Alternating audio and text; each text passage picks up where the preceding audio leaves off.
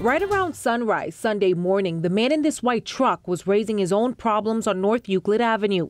But little did he know there were cameras rolling, catching him in the act. He started off right there at that mailbox. Then the video shows him going right to the next target, four mailboxes filled with what he wanted. And he was here for like good four minutes. These mailboxes do have locks on them. You can see that they protect the mail inside. But that thief, he was able to get into the last one by prying open the lock.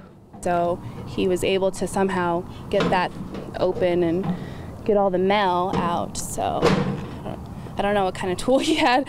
While Jessica Grimes didn't have her mail stolen, her neighbor, Gavin Empey, did. He says it's frustrating to say the least. Luckily, I don't have a lot of things sent to this address, but if I were to have like Christmas cards or like something like that, you know, personal things, then I, am sure that's what they were going for. We can't really order packages during Christmas season if this is going to happen. United States Postal Inspector Daniel Grossenbach says mail theft is a big deal. If you see that your mail has been compromised or something you were expecting isn't there, you should alert the Postal Service immediately. And that's our real way of being able to start working a lead and working a case to try to get the bad guy that took the mail.